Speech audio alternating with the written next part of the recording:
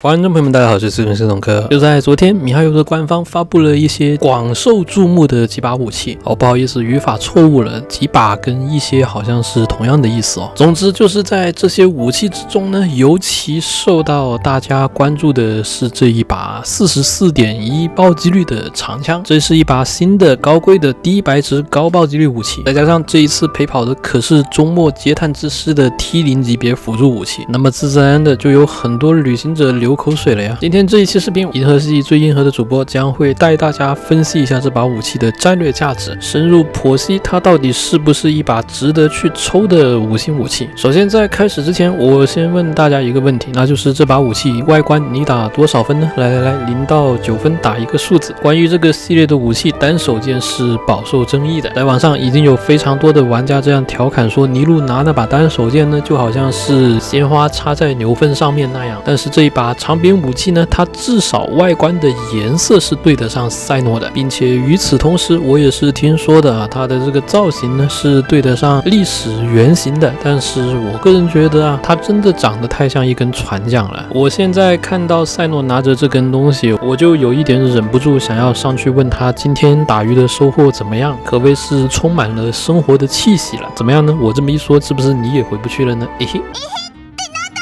OK，在盛赞完米哈游的武器美工之后，我们来一起聊一聊这把武器到底牛不牛逼吧。首先，关于赛诺的具体数值，我们现在还不能知道嘛，所以赛诺拿这把武器的表现对比其他武器怎么样，等我们上线之后再具体聊。现在先不着急，如果感兴趣的话，也别忘了先点上订阅。等赛诺上线了，我会第一时间跟大家做深入的分析的。今天我们主要谈一谈这把武器的泛用性啊。首先上来首当其冲的，我想很多人都很关心，就是。雷电将军拿这把武器怎么样？他是不是传闻中的那么的命作战神呢？嗯，怎么说呢？这把武器确实是有一点命作战神的。在探讨灵命精炼一之前，我们先来聊一聊满命满金的情况之下，在雷九万般体系之下，我们直接取四十三词条的超大毕业面板，就真的很大毕业的了。你们要想想四十三词条是什么概念，对不对？满金炼的剃刀因为提供了大量的充能效率，采用攻击杀戮也可以。轻松把充能叠上三百，所以在这里直接使用攻击沙漏。而为了公平起见呢，当然刺杀则是采用了充能杀戮的。在这样相对合理的配比的情况之下，两把武器的伤害期望会出现什么样的结果呢？在这种级别的面板之下，这把船桨的手刀伤害期望居然把满金链的稻草之剃光都直接给干掉了。虽然这个差距也只有百分之二，但是直接干翻了剃刀这样的专武，是不是还是让你稍稍有一点？惊讶呢？我想有不少的玩家也许能够猜测出这个问题在哪里，主要是因为雷电将军全身上下双爆区间是奇缺的，米哈游通过这种设计的方式来强调雷电将军的专拐九条沙罗的六命的重要性，再加上同时上九条跟班尼特的情况之下，将军本人是不缺攻击力的，因为他们两个人都不是按照百分比是直接叠攻击力的类型嘛，这些因素都导致了双爆区间给的非常慷慨的这把船桨呢得到了。趁虚而入的空间，他居然反手就把剃刀这种级别的武器给捉掉了。所以赛诺的这把武器刺杀到底数值给的慷慨不慷慨啊？大家可以去感受一下。在雷电手上伤害做掉了剃刀，这可是相当牛逼的一个壮举了。所以满级链的刺杀是不是命作战士？我觉得姑且可以回答一个是的啊。但是我想很硬核的玩家马上就会意识到问题在哪里，那就是船桨。他即使拿充能杀戮，雷电将军的充能也只有二百五。十左右，也就是说，刺杀的充能还是比剃刀要差了一大截的。二百五十的充能跟三百的充能，你要说差距不大嘛？那确实好像差距也没有特别的大。毕竟第一，充能是存在稀释效应的；第二，有很多玩家拿着天空博和大毕业的面板，充能其实也就二百五十左右。你要说二百五十充能的雷电将军完全不能玩，那未免稍稍是有一点言过其实的。二百五十充能的雷电将军算是基本达标，但是多五十的充能就是多五十充能。一旦碰上了紧急的情况，打比方说你不小心直接一刀黑了啊，下一盘你要从零开始充能的话，那三百充能还是三百充能，对不对嘛？这个跟场景有关，但是剃刀是结结实实多五十充能的，这个是问题点一。问题点二，那就是刺杀它无论如何实际上还是要叠层的，大家要注意了，这里提出的第二个问题点呢，它是不管零命还是满命，不管是金一还是金五都是得面对的，那就是叠层问题。雷电将军就算先手一马上叠一层。层，接下来队友们上来叠 buff，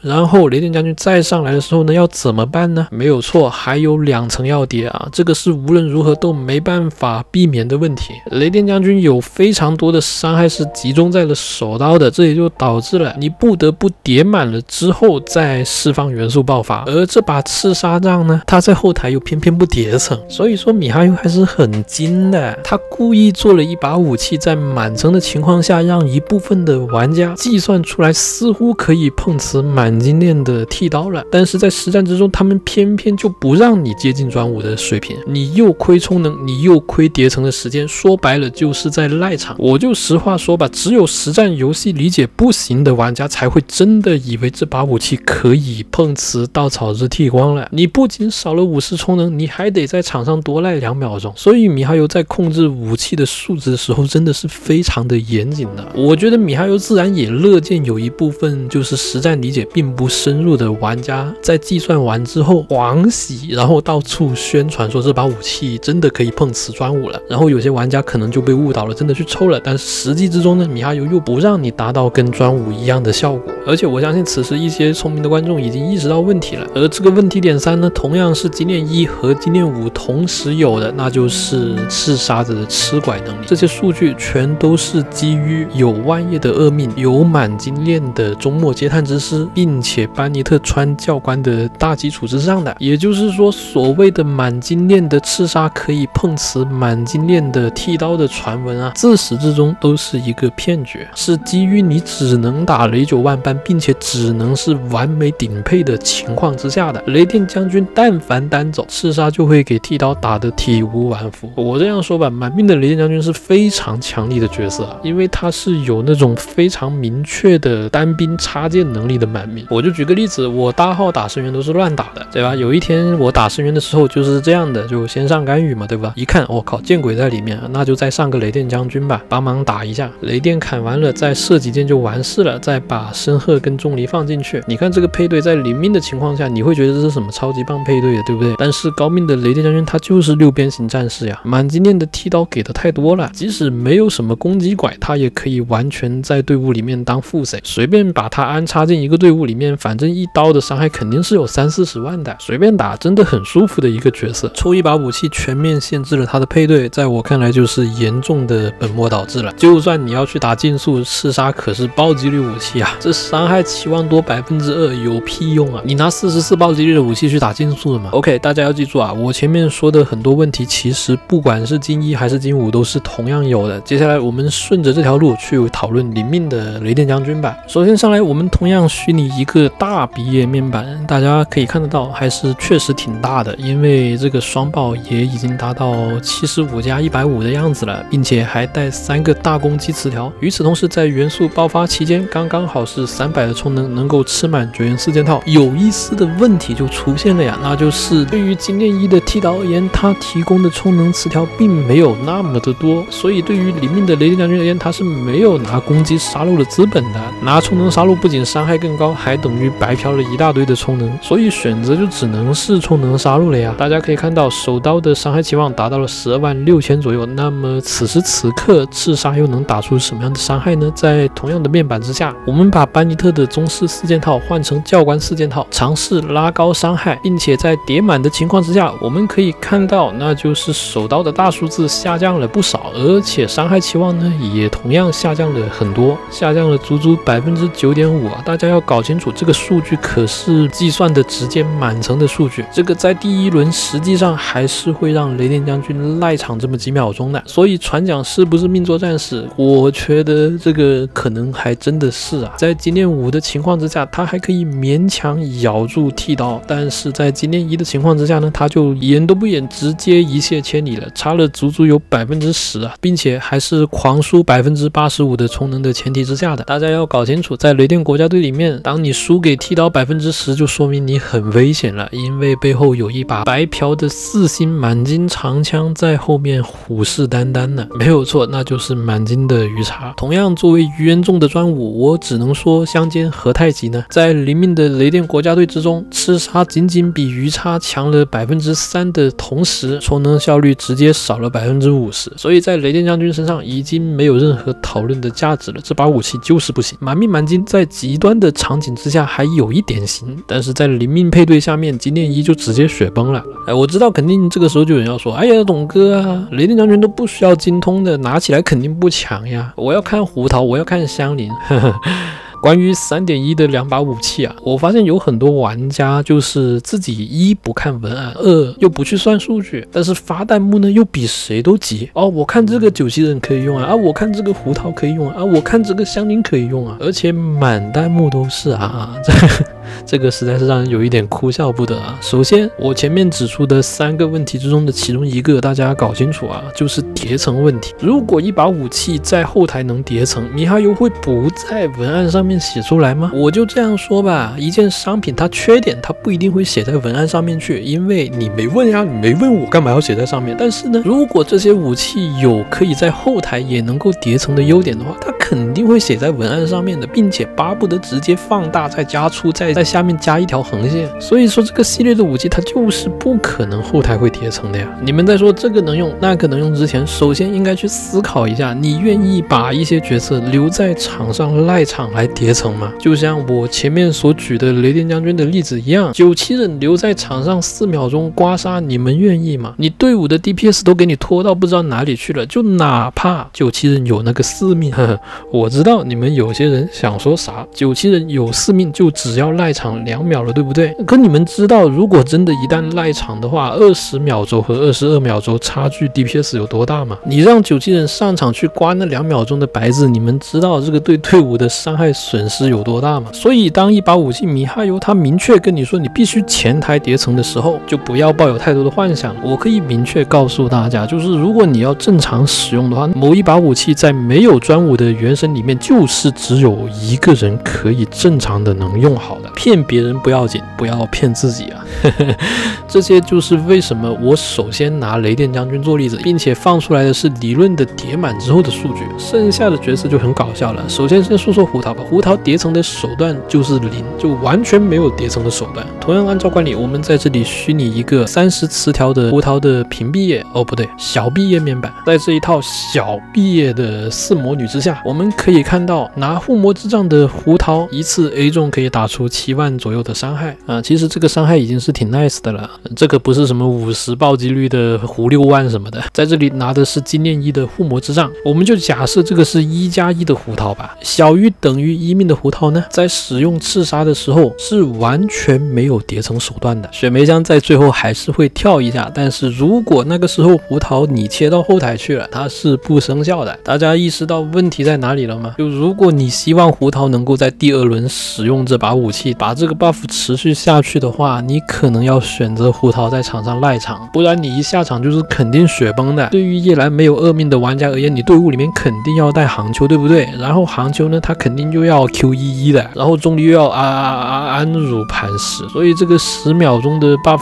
覆盖刷新期呢，其实还是不太够用的。那怎么办呢？直接算零层吧。然后你就会发现狂输百分之十四。哎，熟悉的剧情又来了，这个又是要跟老二缠。缠绵绵的节奏了，在没有终末阶探之师介入的情况之下，船桨凌晨仅仅比满金链的霞里灭城强百分之五，其实也算是还行吧。要想想在雷电将军手上，那是只赢余差百分之三呀，这也算是多赢了将近一倍了。所以说到这里，我们就明白了，第二个角色胡桃基本上也是落空了。在叶兰拿终末阶探之师的大前提之下，啊，就我是指金链一的终末阶探之师啊，刺杀。它跟侠里灭城的差距会放大到百分之十，然后跟附魔之杖的差距呢也会缩小，但是仍然有百分之九左右的差距。考虑到刺杀在实战之中会是零层一层零层一层这样的徘徊的，所以大家可以这样去理解，就是这把武器基本上是徘徊在四星武器跟五星武器中间了，像是一把四点五星武器。从这些大家就可以看得出来，这是一把真正的连环吃拐武器。也就是说，米哈游的武器设计啊，属于是一个新的套路被开发出。来了。具体什么套路，我们可以后面再讲。但是可以肯定的就是，如果你没有终末阶探之师的话，这把武器说不客气的，就是满金链的侠领灭神的水平。因为现在胡桃队你也不带阿贝多了呀，根本就没有精通拐。你钟离放弃盘岩四件套拐双水的话，传教官绝对也是本末倒置的。反正总体肯定是不会有提升的。在这里，我们聊一聊最后一个角色吧，那就是香菱。在雷电跟胡桃身上，刺杀的表现都是差强人意的，就大体上让人勉强感到了不太特别的，好像有一点满意了。那么到底是满意了没有呢？土逼还是不土逼？那真是个问题。但是在香菱手上，就事情完全不一样了，因为香菱是可以锁定一层的稳定的进入元素爆发里面的，就是香菱把锅巴丢出来的同时在黑哈嘛，因为香菱的有效词条比较多，我们就也不要去算什么二十八词条毕业面板了，就直接算三十五了。我们可以发现，在雷电国家队下面，香菱的一转已经接近四万七的大数字了，而且期望也将近四万三，这个成绩可以说是相当不错的，因为已经跟鱼叉拉开了大概百分之七左右的差距的同时呢，也只比剃刀差了大概百分之三的样子。我是指剃刀更强一点。值得注意的是，这里所有的数据都是基于祥林在两百。充能左右的大前提之下的，但是我们都知道，雷电国家队，如果你不介意用更加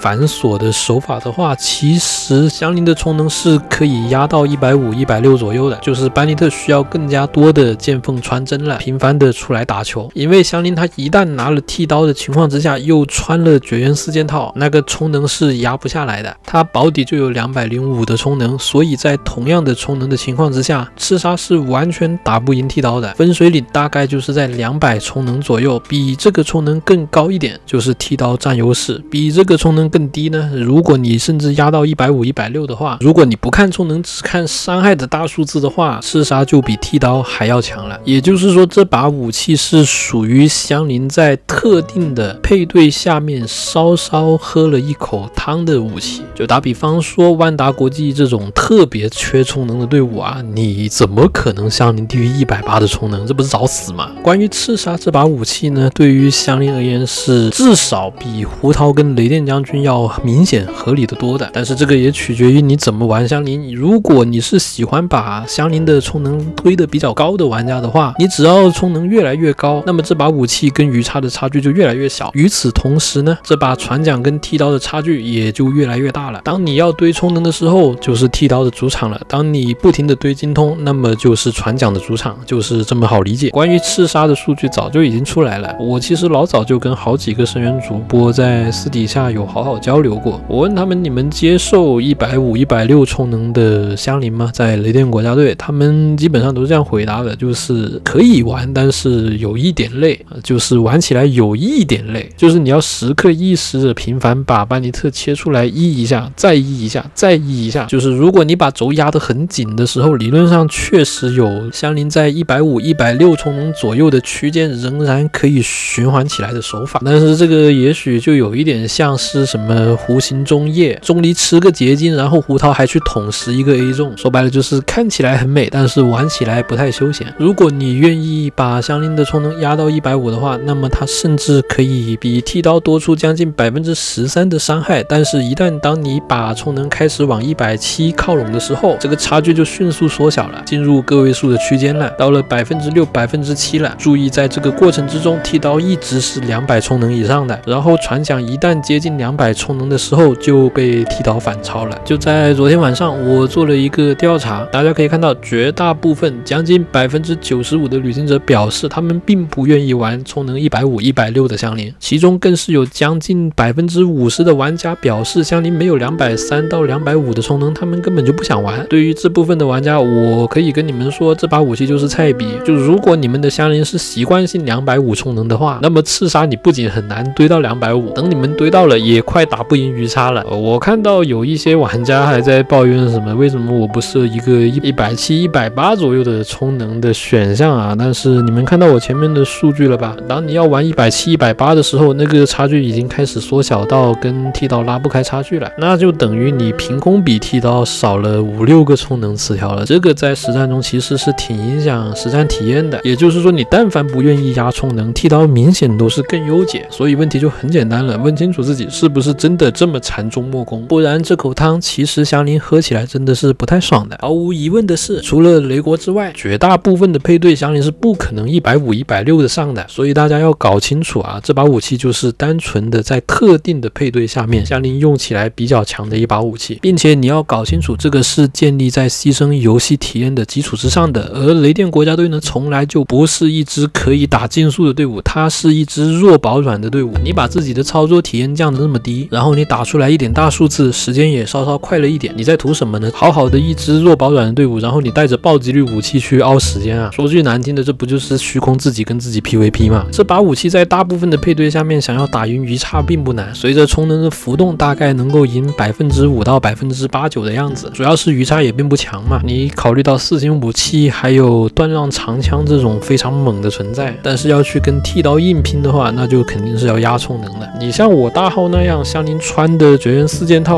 我忘了多少词条了，反正一开大就直接三百充能的。就我大号是抽了六把的剃刀的嘛，香菱拿了一把。在这种情况下，经验一的船桨跟剃刀之间差距就明显很大了。首先船桨就不可能堆到三百充能，好吧？所以经过我全面的、完善的、硬核的分析，你现在应该明白了吧？是不是感觉美少女策划门是真的大呢？本领是真的大。这一把武器赤砂之杖，它就是还可以，好像很泛用，但是好像又不是特别泛用，好像香菱喝到汤了，但是又好像没有喝到汤，属于是比较血定二的武器。然后在绝大部分的玩家都搞不太懂的情况之下，他们就会觉得这武器值好香啊，然后赶紧抽爆了，过了这一村就没下一店了。大佬们都说一百五、一百六够循环，一算比剃刀还强呀。然后十个人里面超过九个抽回来之后，老老实实把充能堆到二百二、二百三，往外吹的时候，这把武器就是上限。然后自己用的时候呢，平时一直二百二、二百三的香菱就也懒得换配装的，哎，把公屏打在真实上。我还是那句话，骗别人不要紧，不要骗自己。好不好用，冷暖自知。其实这把武器真的就还行，就有一点像是灵人的那把波波机那样。由此可见呢，现在原神的设计组啊，他们设计武器是越来越聪明了。我之前不是说了嘛，像盘岩节律那样的错误，他们是不会再犯的。现在新的武器都非常严谨，而新的角色呢，就连盘岩节律都可以要过去，你不吃攻击力就可以了嘛。然后新出来的这把赤砂之杖，它那个一环吃一环的吃其他武器或者吃其他角色的拐的能力啊，仿佛也在预示着什么，就是以后的武器会不会像是这样越出越多内循环呢？一环扣一环呢？关于刺杀之杖这一把武器，你有还是没有万叶的厄命，它差距是挺大的；你有还是没有满经验的终末阶探之时，它差距也是挺大的。哎，但是你的主人是长轴，这些 buff 全都会掉，所以你们也别老惦记着那些你已经抽到的东西了。哎，看到没有？隔壁是不是就马上有一把剑，它是持续二十秒的，然后 CD 又是二十秒的，然后全队又拐一大堆精通的。可以预见的是，这把武器它不仅吃精通拐，而且它吃的多半是以后的精通拐。万叶恶命能够拐精通是吧？你了不起是吧？你清高是吧？你持续八秒，我就直接给你做十八秒钟的角色。笑看你的 buff 掉的不要不要的，